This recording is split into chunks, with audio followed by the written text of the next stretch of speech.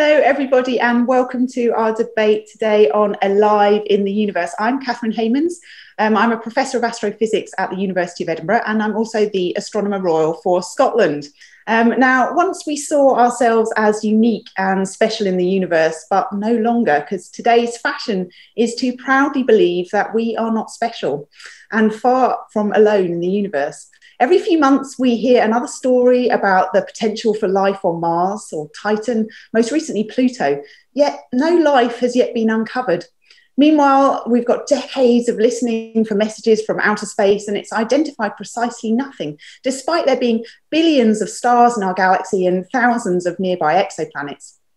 Might we be alone after all? and more special than we imagine? Do we search for aliens because we're scared to be on our own in the immensity of the universe? Or is it just a matter of time before aliens come knocking at our door? To help me answer these questions, I have a fantastic um, panel of scientists um, with me today. Uh, Nick Lane is the Professor of Evolutionary Biochemistry in the Department of Genetics, Evolution and Environment at the University College London. Um, his cutting edge research explores the deepest questions around life itself, and he is the author of four acclaimed books um, on evolutionary biochemistry, and which have sold more than 150,000 uh, copies worldwide. Um, thanks for joining us, Nick. Um, I'm also delighted to introduce Avi Loeb. He is Professor of Science at the University uh, at Harvard University.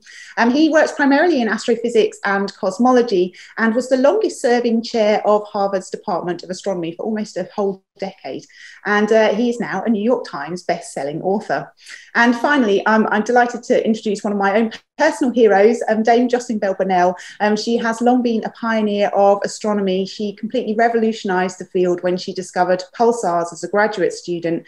And um, sort of science as a whole, particularly across the UK, has really benefited from her leadership for many decades. The question is, are we alone in the universe? And more special than we imagine. And I'm going to invite each of our panelists um, to very briefly summarize their answer to that question. Um, so we are going to uh, start off with uh, Nick Lane. Nick, um, are we alone in the universe? I doubt very much that we're alone, but uh, we haven't found anything yet, and I think there's two ways of going about it. We can look out uh, and and try to find evidence of life out in the universe, or we can look in, uh, not at ourselves but at life on Earth, and try to understand the principles that govern uh, the emergence of life. Is it something probable in a particular set of planetary conditions? Is it something we would expect to see repeated elsewhere? What are the rules that govern the emergence of life? And I think that's perhaps the most exciting question a biologist can ask. And it's my own way as a biologist of asking these questions about life elsewhere in the universe.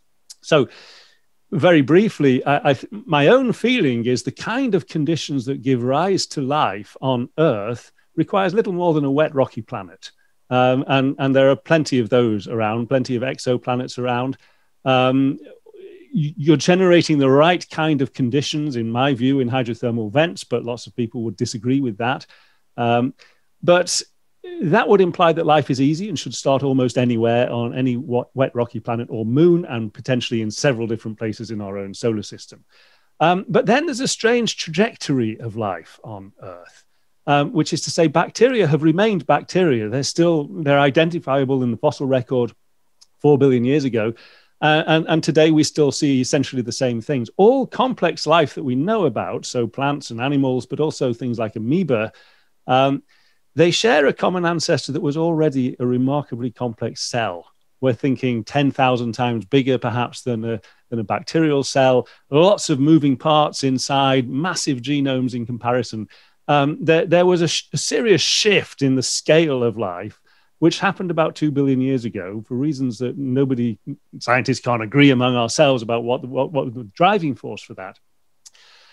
Uh, my own view on this is that it required um, it required very intimate relationships between cells, cells getting within cells for reasons to do with energetics, uh, which I can talk about if people are interested later on. But uh, it, it's basically unlikely, I would say. It happened once here. That doesn't mean to say it couldn't have happened hundreds or thousands of times.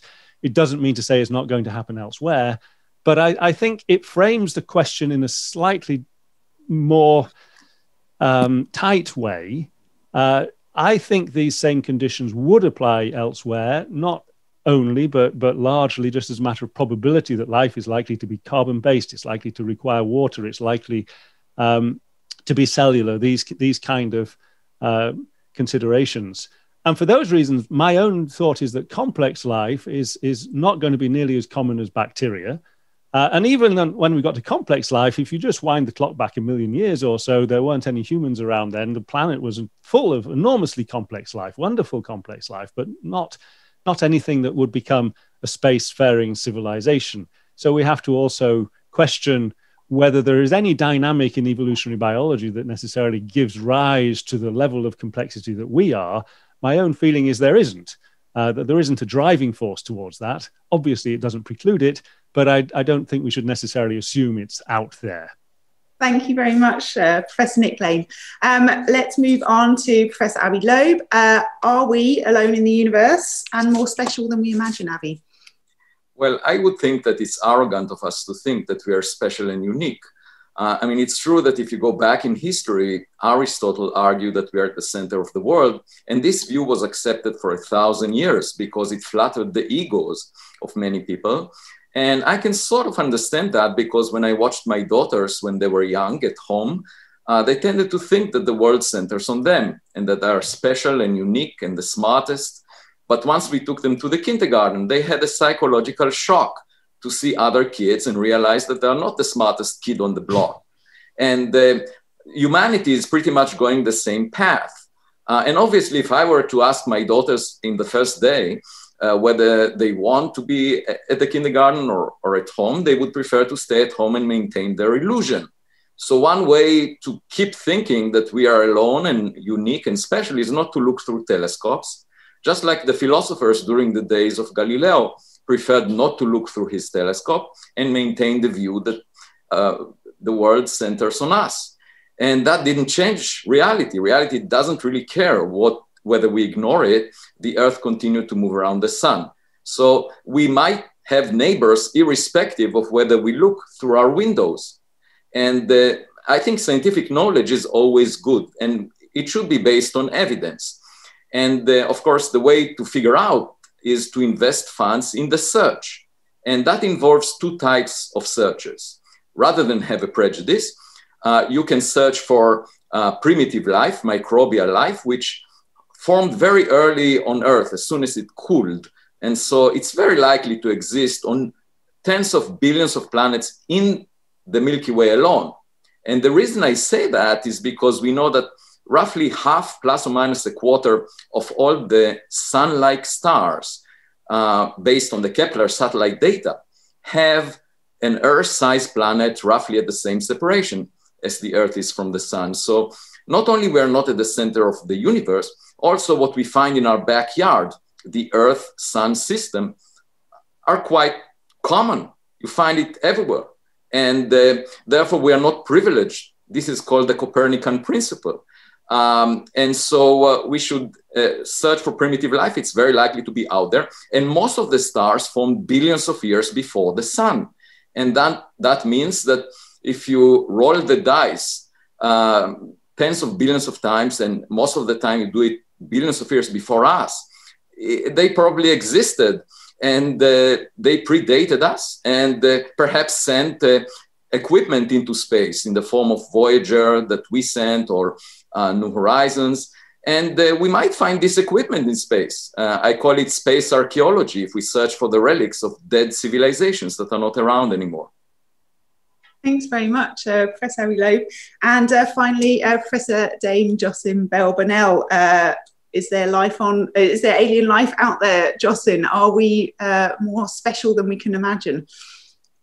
20 or maybe 30 years ago, there was a survey in Britain of churchgoers. They were asked the question Would you or your faith be disturbed if life in outer space was discovered? And the answers were remarkably consistent and remarkably interesting. The answer was no, I would not be, but I'd be worried about other members of my congregation. so I, I think this isn't actually the issue it's sometimes built up to be.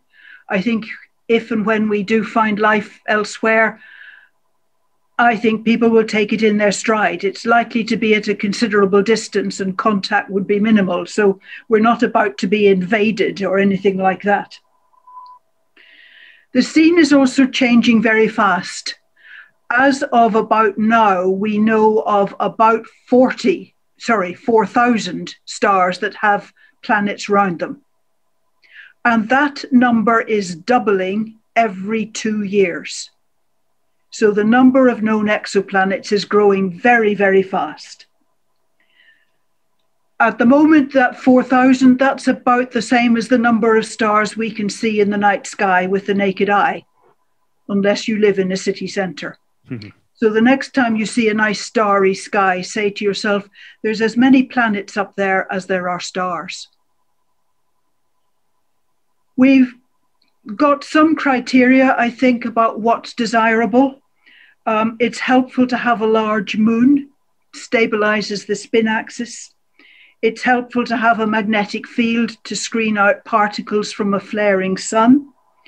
You want a sun that doesn't flare too much and certainly doesn't explode or anything like that. You want to be well away from any massive black hole in the center of the galaxy, well away from any star that would explode, and a circular planetary orbit is helpful.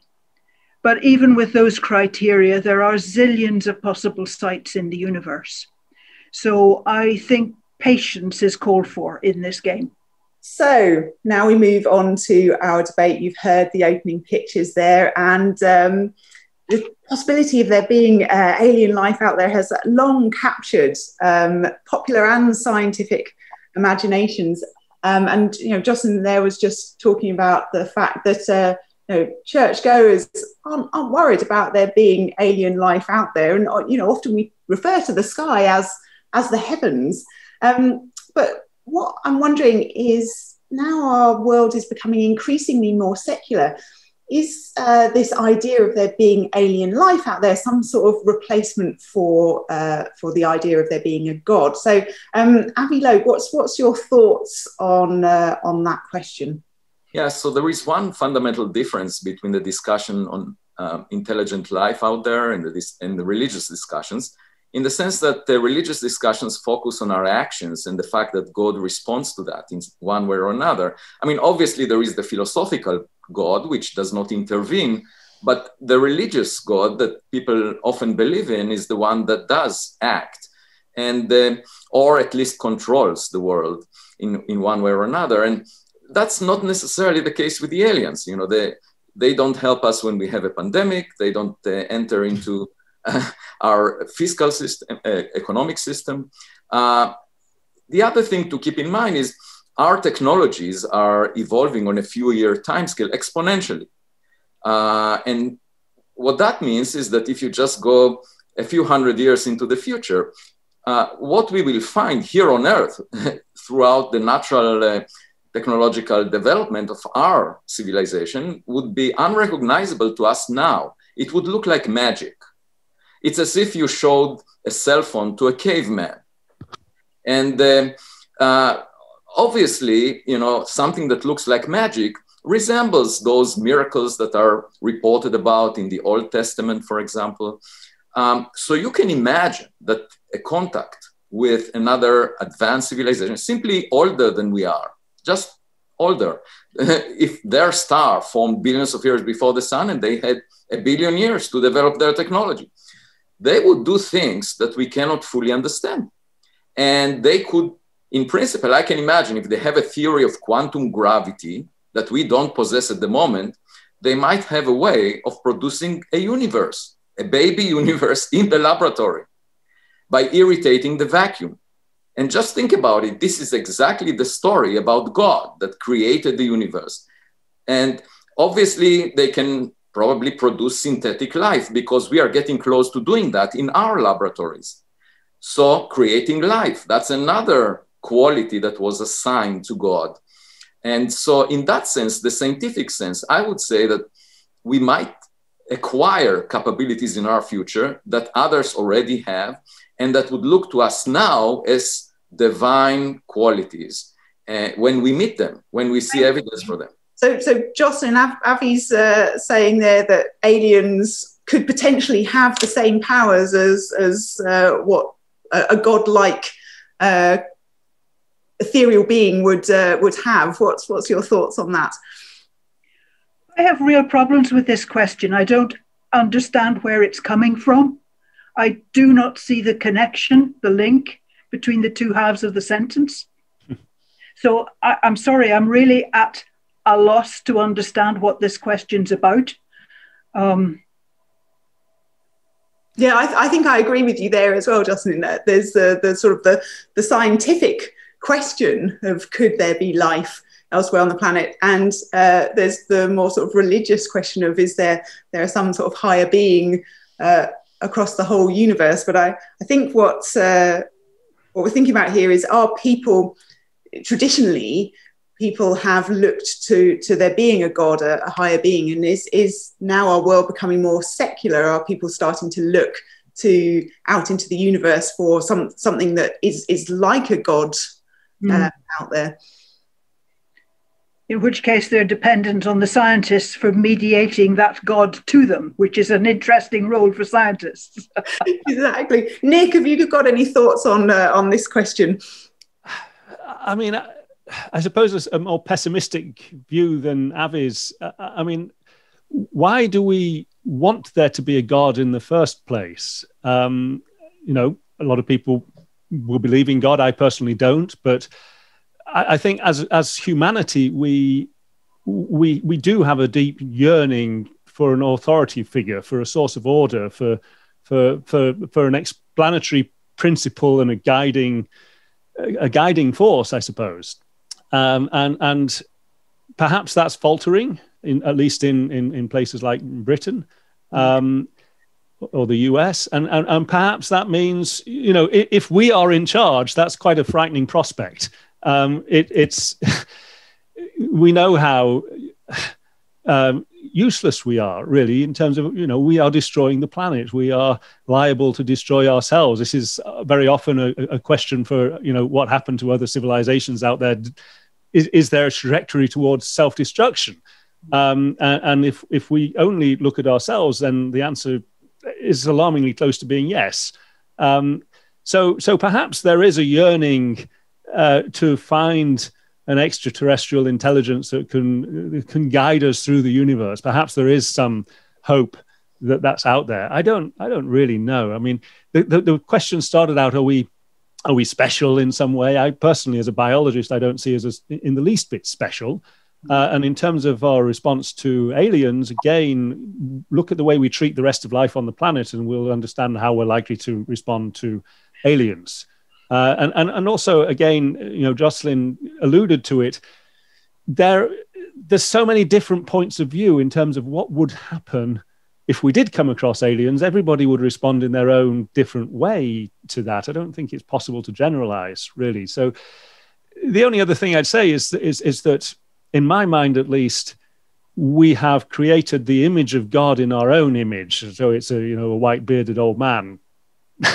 um, maybe that image is shifting now, but we also tend to invent aliens in our own image as well. Uh, and I think we, you know, a lot of us, I love, you know, Star Wars or Hitchhiker's Guide to the Galaxy or whatever it may be. I love the idea that there's a thriving universe full of alien beings out there, but they all look remarkably similar to us. Um, and the reality is highly unlikely to be anything like that. Uh, so, so I, I, do think there is also this urge to create an authority figure or, or, or, or, or superhuman figures um, somehow in our own image.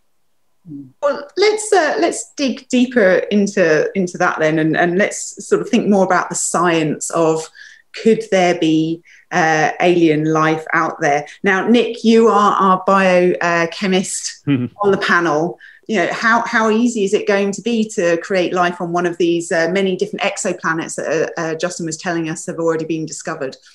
My own feeling is it, it's it's not that difficult. Um, that's not to say we can do it in the lab right now. I personally think we're a way away from doing that in the lab, but I, I do think we can understand a lot of the principles already, and I think we're making fast progress at the moment. The difference is that what we can do in the lab are single experiments, and those single experiments are a tiny part of an overall problem. And what we have on, on, on a planet is an entire planetary system with millions of years and, and, and you know, entire seafloors at, at our disposal. Um, so, so it's a laboratory on a scale that, that we cannot begin to emulate in the lab. So I don't think it's a trivial thing to create life. I, I, think personally that we're still a long way from doing that in the lab, at least in the way in which I would understand it. Um, but I, I, think conceptually we're, we're making progress, and certainly from my own point of view, uh, I would expect to see bacteria or cells of that level of complexity on almost any wet rocky planet. And uh, you know, in so some sense, that's a and cells are quite different from the uh, the ethereal yes. things that Avi was uh, hoping might. I, I, think that's going to be universes in, much in rarer. sense. I think so that would be much rarer, but that's not to say they're not out there. That's simply to say that there isn't a. There, I think we again have a wishful thinking that once you've got the conditions for life, that there will be a trajectory in evolution that starts with bacteria and ends up with superhumans, uh, and I don't think that that is true. Uh, I, I, think the likelihood is that there would never have been humans on, on Earth. I think the likelihood is for most wet, rocky planets that you would never get to the level of complexity of an amoeba. Um, but still, there are many, many billions of options of other planets which will have gone beyond ours. And I think, as Jocelyn said, they, they're going to be a long way away. So, so Avi, I think I think you're a big fan of, of there potentially being very highly intelligent life out there. Do you want to tell us a bit more of your, your thoughts on that one? Yeah, the one thing I learned um, after studying the universe for decades is um, a sense of modesty. Mm-hmm. Uh, you know, that we are not particularly intelligent ourselves. If, if you read the the morning news, right? Uh, we fight each other. We try to feel superior relative to each other. That's not a sign of intelligence. A sign of intelligence is cooperating towards a better future.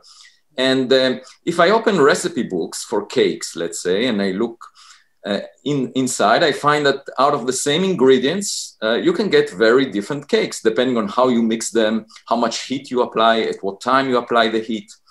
Uh, and uh, what's the chance that the chemicals that existed on early Earth created the very best cake possible ourselves? I would say very small. I would argue that we should be modest and search rather than have a prejudice and uh, you know be very proud of ourselves because whenever we did that in the past whenever we claimed that we are privileged unique and special we resembled my daughters when they went to the kindergarten. So I would argue for a sense of modesty. Now, the other thing is that it's possible that life has many different forms, not the way we have it here, but it can, for example, exist in other liquids, not just water. And of course, the best way to expand our imagination is by doing laboratory experiments. And one of my colleagues at Harvard is uh, Jack Szostak. He won already a Nobel Prize, but he's working on his second. He's trying to produce synthetic life in the laboratory. And he told me that when he started a decade ago, he thought that it's quite difficult to arrange for the conditions that will create life on Earth, on early Earth. Uh, but now that he worked on it for a decade, he's much more optimistic that random processes could have led to where we are and uh, it's not particularly rare and he is getting close to producing synthetic life in his laboratory. So given that i would argue that we should be open-minded. We should not think too highly about ourselves as being the pinnacle of creation. Instead we should open our eyes and search. And what i mean by search is that this subject should become the mainstream of astronomy. Searching for intelligent life is a reasonable thing to do as much as searching for the nature of dark matter or searching for gravitational waves. Now, tasks, that, tasks that were funded at the level of a billion dollars so far. And the search for intelligent life, you know, received a thousand times less funding. So, um, Jocelyn, when you made your your discovery of pulsars, I understand that it was uh, entitled LGM for Little Green Men. So uh, Avi's saying we need to have more funding to to go and look for these things. I mean, how how would we go about um, trying to find evidence for alien life? Avi's convinced these, these complex life forms could be made, and Nick will come back to you to, to see whether you agree with him. But how would we how would we go about trying to find evidence for these little green men? Most of the work so far has focused on radio wavelengths. So, you know, looking for their television signals or their mobile phones or mm. things like that. Um, that is assuming that they are reasonably similar to us. But I think that's probably a, a reasonable place to start as well. Um, how would aliens know we existed? It would probably be through our radio signals inadvertently sent. Um, they might pick up a spacecraft or two, but that's very much needle in a haystack. So I think equally for us looking for them, um, radio is often the best wavelength, and it's where most of the effort has been focused so far. And of course, as we get bigger radio telescopes and bigger radio telescopes, there's perhaps more chance. But equally, as we get bigger telescopes, we're getting bigger data rates, and the data is going to be analyzed by computers before humans even get to look at it. So then the question becomes have we programmed the computer that it would reject a signal from an alien? And the answer is yes, probably we have so far. Um, whether we could see biological trace or they could see biological tracers in our atmosphere, um, they might be able to uh, if they're reasonably close and they have good telescopes and spectrometers. Um, Nick, let's go to you. Our, our biologist is is is is that a, a, way forward? Are there going to be biological traces in in the atmosphere? Um, if there's a thriving planet, yes, you would expect to see them. Whether we can currently detect them at the moment, um, we're on the point of being able to do that. Um, I mean, I think there's, I think that there's, a deeper problem here, uh, which, which Avi was getting at, which is uh, to do with what should we be looking for, um, and I'm coming at this as, a, as, as, as, if you like, an earthbound biologist. I'm looking at carbon-based life. I'm thinking about I'm thinking about life as I know it. And I don't dispute for a moment that there can be all kinds of other different forms of life out there, perhaps limited only by the imagination. Uh, so the question is well, if it becomes science, how do we constrain the imagination to ask questions of what's out there? Um, and, uh, the way in which I can do that, I think, is to ask, well, why is life the way it is here? Are there fundamental reasons for that? Or could it have been completely different in a different setting with a different fluid than water, with something other than carbon, whatever it may be? Are there good reasons why it's this way? Or could it be some other way? There's two ways then of doing science. We can try to build from what we know and think in fundamental principles going up. And, and, and, and again, as Avi said, we must be modest because we're, the, the, the good thing about lab work is you find that you're wrong on your specific predictions every day and and it you know it keep it keeps you modest. It, you know, all scientists know, or all good scientists know, they're wrong about a lot of the stuff most of the time, uh, and and I think that's you know really important to convey. Um, so so I think that's why exploration has always been one of the most important aspects of science and an open-minded exploration that says okay well i think things are like this but i accept that they could be like that so how are we going to test it so that we we don't just have blinkers on and look in one particular direction and fail to see what's obvious just because nobody's actually looking in that direction. So we had a, a visitation in the solar system a little while ago by um, Oumuamua. Did I pronounce it right, Avi? Very well. Yeah.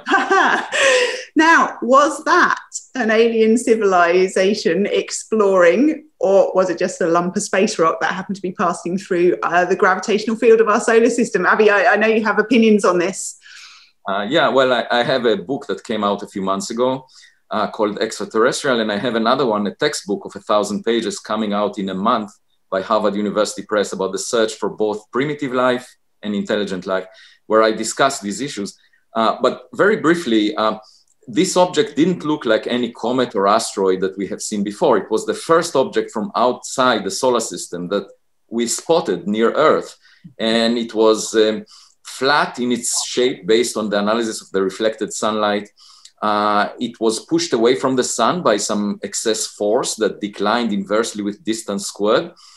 And there was no cometary tail coming off it. Uh, there was no gas around it. So um, I simply suggested that maybe it's a very thin object, like a sail being pushed by reflecting sunlight.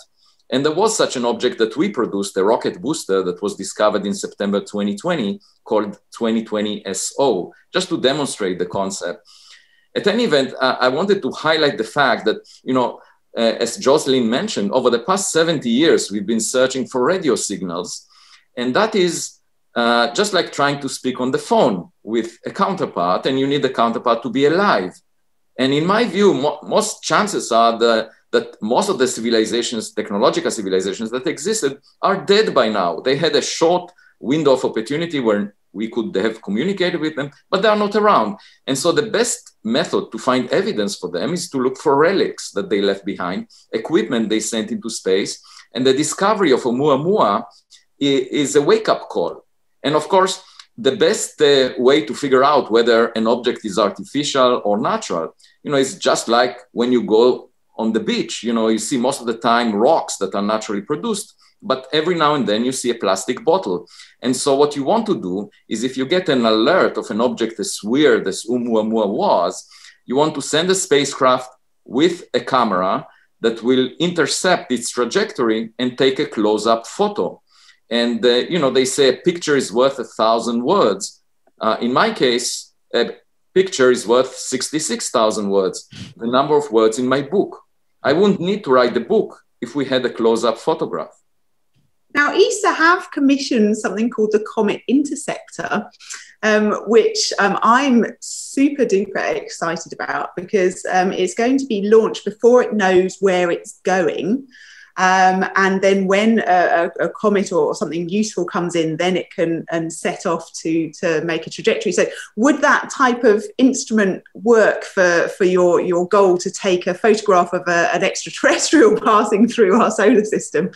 Yes, uh, definitely. And there was uh, OSIRIS REx. That's another mission uh, that actually landed on the asteroid Bennu not long ago and took a sample from it, took a photograph and a sample. It looked like a rock, and it will bring back the sample to Earth in 2023. So just imagine us landing on an artificial piece of equipment, reading off the label made on planet X, and importing the technology to Earth. You know, it could represent something in our future. If the experience would be just like uh, getting access to a cell phone long before it's offered to the public and enjoying all the features that it gives you. Now, Jocelyn, you described this sort of uh, trying to sort of search for things that have been set out a bit, little bit like a needle in a haystack. What, what were your opinions on what Avi's saying here? Uh, I believe there's been a second visitor from a, another solar system. I think Oumuamua has had a successor, one that we haven't seen nearly as well, and we don't have pictures of it. But uh, an object came by, I think, in 2020. I'm not 2019. Yeah. 2019. Yeah. Yep. Um, and its trajectory means it must have come from another solar system. So that's the nearest we've got to kind of direct contact and it's and it's pretty indirect but it's interesting that we're now in a position to be able to pick up some of these visitors from other solar systems. But uh, you talk about visitors. I mean i i think of these things as just lumps of rock. There's no uh, as far as i'm concerned it's unlikely that there's any sort of complex life on these things. Otherwise they would have said hello. I think they probably are just lumps of rock, maybe not even that solid lumps of rock, but yep, inert bodies, shall we say, uninhabited bodies, unplanned bodies. Yeah. When you talked about there being all of these exoplanets out there, and um, you know, our best guess of the universe is that it's infinite in in space and time. So, you know, what what what's our best way to to try and you know, Avi wants to see what's going to come into our solar system. You were talking about radio signals. Do we need to go out and target more exoplanets? You, there's this phrase. Do you want to explain what a Goldilocks planet is, uh, Jocelyn? Mm. So yeah, we've got all these exoplanets, but only a fraction of them are going to be suitable, we think, for a carbon-based life. Um, in some cases, the star will be too hostile, um, too much sort of cosmic rays and things like that from the star that would break up the relatively fragile molecules we need to make life. Um, sometimes the planets are too close or too far away, even if the star is quiet, steady. So there, there's a lot of factors you have to weigh in, in doing these sums. But nonetheless, we are our, our reach is gradually extending with more and more telescopes. So we're, we're sampling more of the universe. That's undoubtedly true. And particularly with all the work done to discover exoplanets, it's um, a very big area of astronomy now.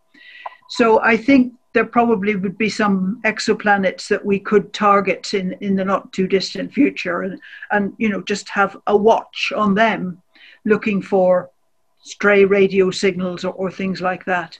And Avi wants us to go and explore. I mean, is that is that at all feasible? Could we even travel to these these exoplanets, or uh, just the distance is far too yeah extreme?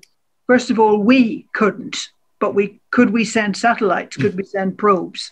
And we could, but you have to be very patient. Um, this exploration's in danger of taking several lifetimes and human memory is probably not good enough to provide that kind of continuity. So I, I'm not convinced that we can go explore. I think we can listen. I think that's the main thing.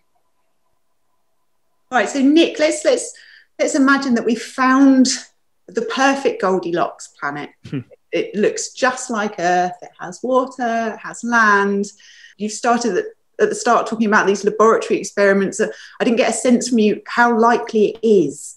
I think it's very hard to say how, how likely it is. I mean, all, all we can say for sure is that all complex life is composed of one particular cell type, this eukaryotic cell, um, and that uh, that that has a common ancestor, and that common ancestor, by definition, arose once. That's not to say that complex life didn't arise on hundreds or thousands of occasions on Earth and vanished without trace. That's perfectly possible, but there's no evidence for it. And so we should entertain the possibility that it's genuinely difficult as well. Um, so I'm not necessarily advocating that, but the question then is well, are there constraints on bacteria that keep them bacterial? In effect, they have searched far more genetic informational sequence space than we have. Uh, and yet there's something which has kept them small and simple in their morphology. Uh, and I, I personally think the, the explanation for that lies in the way in which cells generate energy.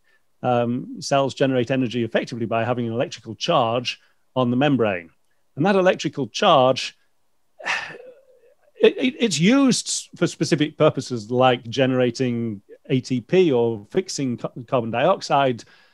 I personally think it probably goes a lot beyond that. I, I suspect that it, it's part of what forges the identity of a cell, if you like, the self of a cell, um, that it's, it's determined by the electrical fields on the membrane.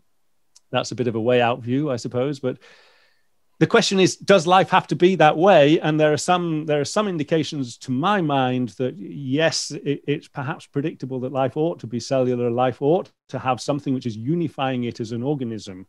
Um, and if all of that's the case, then if we apply that to what happened at the origin of the eukaryotic cell, well, it was effectively one cell got inside another cell and imported this uh, this electrical charge internally, uh, and uh, it doesn't seem to be so easy for that to happen. Now, so you can't reproduce that in a laboratory, or no one's ever done so. People have tried. Um, I would love to try, but it's one of these projects that would probably take ten years and would probably fail, and it's difficult to get anyone to fund it. Uh, but it, it's the obvious thing to try to do. Um, and it's not necessarily so difficult. You know, th- th- there's always the very simple explanation that it happened once because whenever it happened again, the guys who were out there already just ate ate all the all, all, all the, the newcomers. You can't ever disprove that kind of an idea. So it's very difficult to put a probability on it. But I think the idea then to take it to the other extreme and simply say life starts and then it becomes intrinsically more complex, it's not sustained by biology as we know it, and it's not sustained by the history of life on the planet. And so I think the interesting question to me is well, is, is that just an accident? Is it just a historical artifact, if you like, of what happened on Earth? Or is there something more fundamental about it? And I think it's too early to say what the answer is to that. But my own inclination is to think that there are fundamental aspects to cell evolution that mean simple life is likely to be common and more complex life is likely to be less common, and that those principles are likely to govern carbon based life elsewhere in the universe. uh, and, and and that at least I think would make it. You know, we've got tens of billions of wet rocky exoplanets in the in the in the in, in the Milky Way alone. Um, what proportion of them would would would produce life? Jocelyn was saying there's issues with the moon. There's issues with you know the the, the, the Goldilocks zone. You know, one of the most likely places on uh, in, in our own solar system will be Enceladus, way outside the the the the, the Goldilocks zone. Mm. Um, but it's got it's wet. Uh, it's, it's got a, a, large ocean on it, uh, and and it would be my favourite place for looking for life within our own solar system. What I think is that we should be guided by evidence uh, rather than by prejudice, because nature nature's imagination is far greater than ours, especially in the context of life. And uh, you know, um, humans uh, tend to speculate quite a bit and have a prejudice and convictions uh, but the one thing we learn from science is that we should pay attention to evidence and be guided by evidence. And the way to find evidence is to search. And so the practical question is uh, whether we should just search for primitive life or allow ourselves, maybe at a level of 10% of the budget, to search for intelligent life, because currently it's not being done. And uh, you know, it, it, it, goes even farther because there is an, a Fermi's paradox that was formulated 70 years ago by Enrico Fermi, a very famous physicist. Uh, when he had lunch at Los Alamos with his group, he said, Where is everybody? And to me, that question is very presumptuous. Uh, it reminds me of uh, the friends of my wife. When I first dated her, she had friends that were waiting for uh, Prince Charming on a white horse to come and make them a marriage proposal. And it never happened. So they compromised.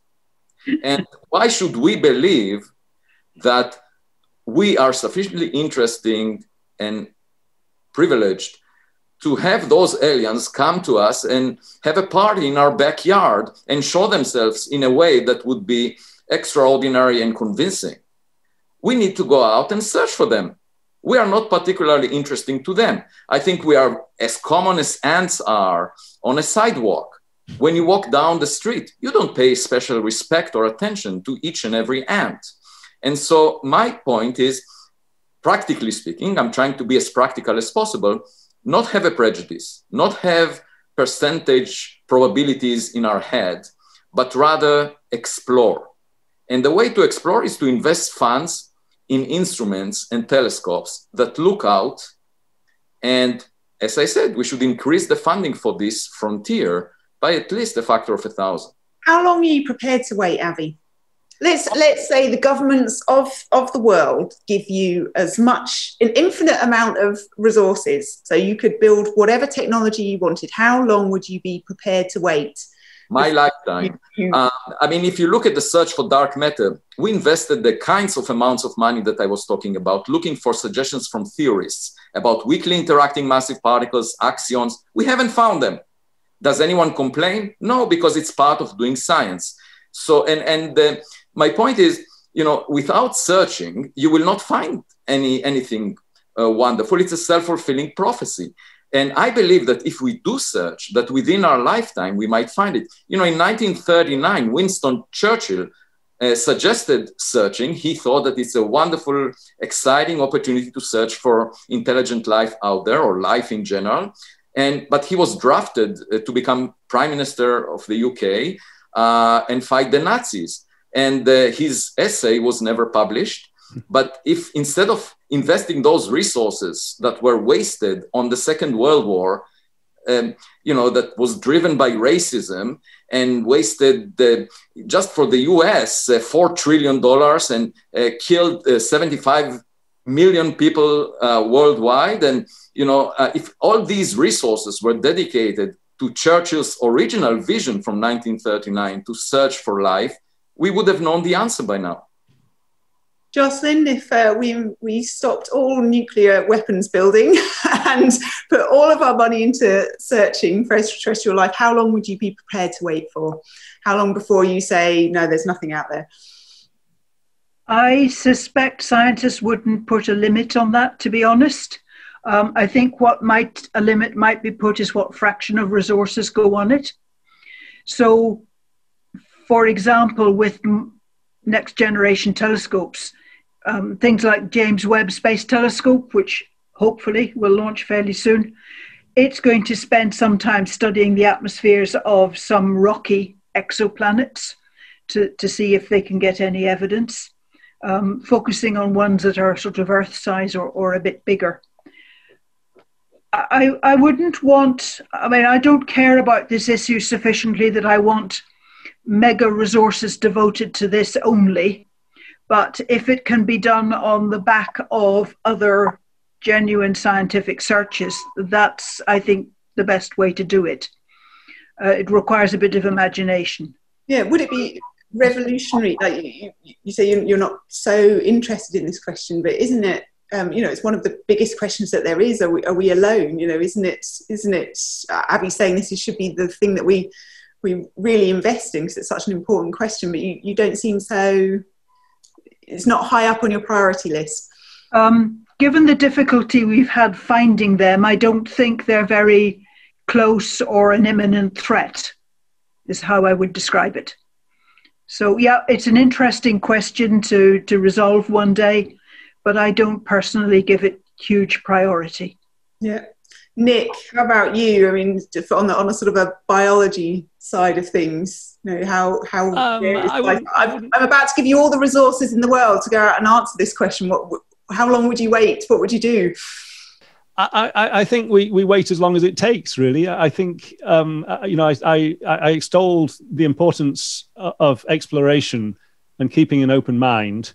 Um, I, I, would tend to agree with Jocelyn. I think the likelihood is we will not find anything very quickly. Um, and the likelihood is it will be ambiguous whenever we find something and people can argue about it interminably.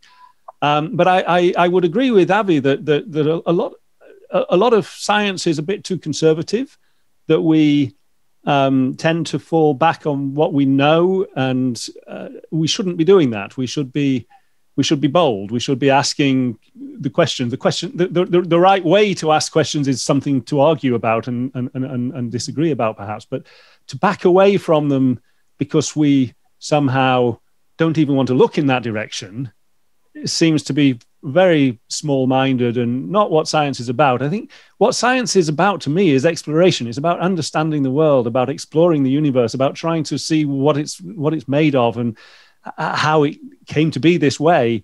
Uh, and, and, and that's very much a search. Uh, and we can be informed by what we know, but we shouldn't be absorbed with what we know because we, you know, we don't know what 95% of the universe is made of anyway. We should be very humble uh, in front of it. We, all we know about life is the life that we know on Earth. It may or may not be this way somewhere else. We can try to study it and try to try to understand the principles, but you know the, the chances that we understand them correctly is remote. So we have to keep an open mind and look. So Nick, even though you're not religious, I would say Amen. Thank you so much, everyone, for joining us uh, today to discuss alien life.